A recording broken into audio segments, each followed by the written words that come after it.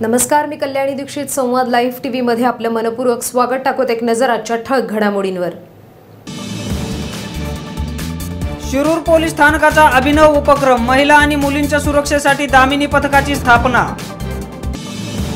म्यानमारमधील Rohingya मुस्लिमांचा नरसंहार थांबवावा यासाठी गेवराई मुस्लिम समाजाकडून मूक मोर्चा ज्येष्ठ पत्रकार गौरी लंकेश यांची हत्या देशाला काळीमा फासणारी. वाशिम येथील विविध संघटनांनी कडक शब्दात व्यक्त केला निषेध.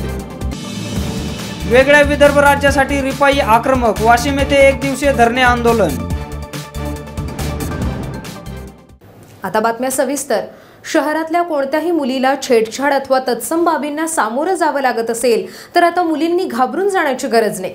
शिरूर पोलिसांनी एक अभिनव उपक्रम राबवत दामिनी पथक आणि बीट मार्शलची स्थापना केली आहे. हे पथक दिवसभर शहरात पेट्रोलिंग करून महिलांसंबंधी काही तक्रारी असतील तर त्यांचं तात्काळ निवारण करतील. यासाठी पोलीस स्थानकाकडून व्हिजिटिंग कार्ड देण्यात आलं असून महिला मुलं अथवा ज्येष्ठांच्या काहीही तक्रारी असतील तर त्यांनी दिलेल्या नंबरवर बिनदिक्कतपणे संपर्क करावा असं आवाहन शिरूरचे पोलीस निरीक्षक राजेंद्र कुंटे यांनी आहे शिरूर पोलीस स्टेशनच्या हद्दीमध्ये दामनी पथक त्याचप्रमाणे बीट मार्शल कार्यान्वित करण्यात आलेले आहे.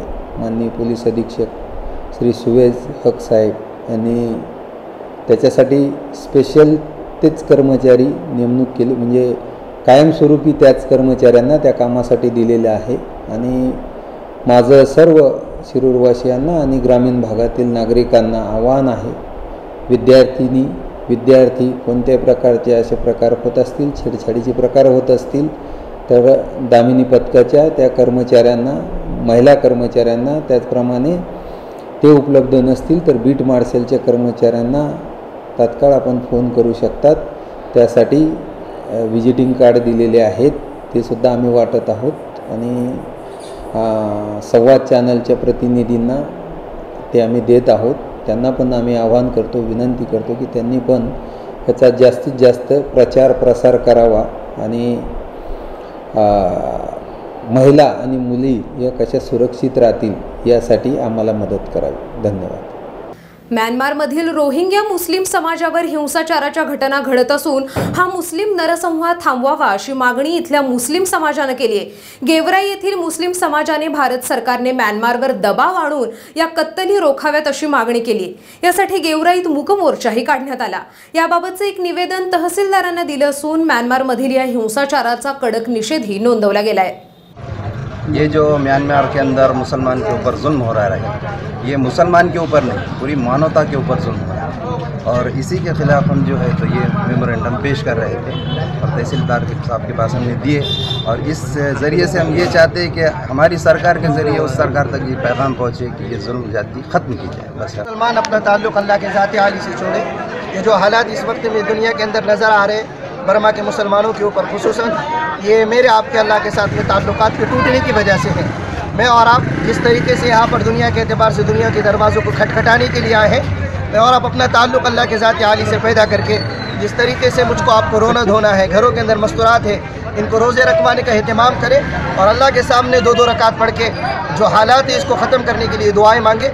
रिपब्लिक पार्टी ऑफ इंडियाचे राष्ट्रीय अध्यक्ष रामदास आठवले यांच्या आदेशानुसार वाशिम जिल्हाध्यक्ष तेजराज वानखेडे यांच्या नेतृत्वात वाशिम जिल्हाधिकारी कार्यालयावर वेगळ्या विदर्भ राज्य व्हावं यासाठी एक दिवसीय धरणे आंदोलन करण्यात आलं.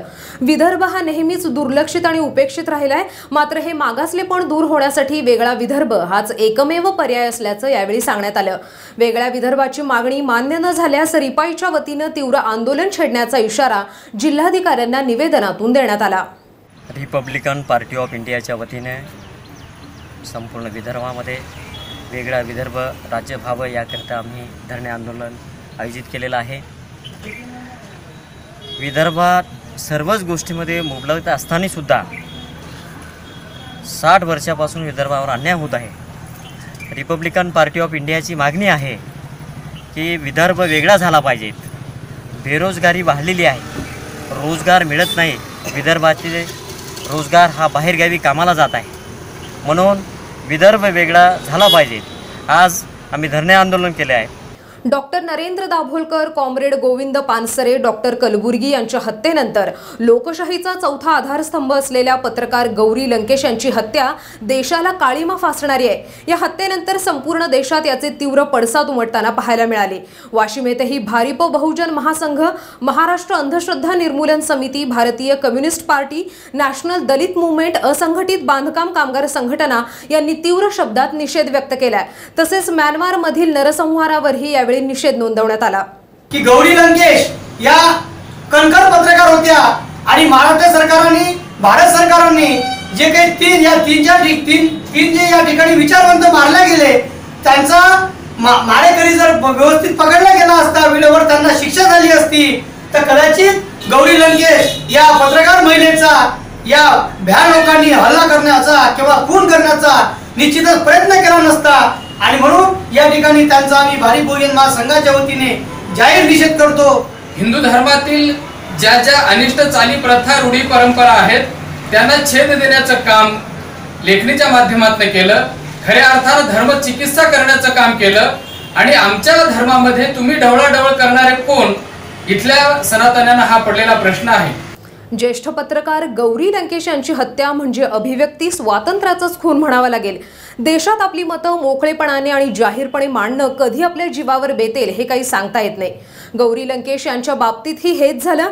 राजकीय व्यक्तींवर निर्भीडपणे लेखणीने वार केलेल्या लंकेश यांच्यावरच गोळ्यांचा वार झाला.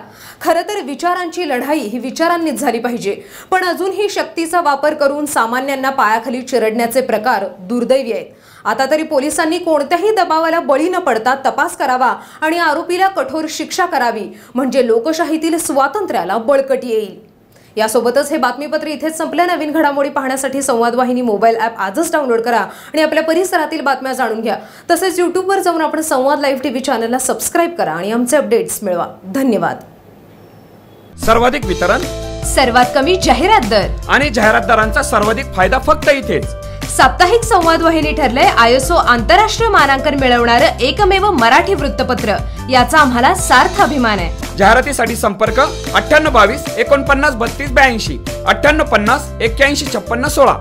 संवाद लाईव्ह टीव्ही पाहण्यासाठी संवाद वाहिनी मोबाईल ॲप आजच डाउनलोड करा आणि आपल्या परिसरातील बातम्या जाणून घ्या.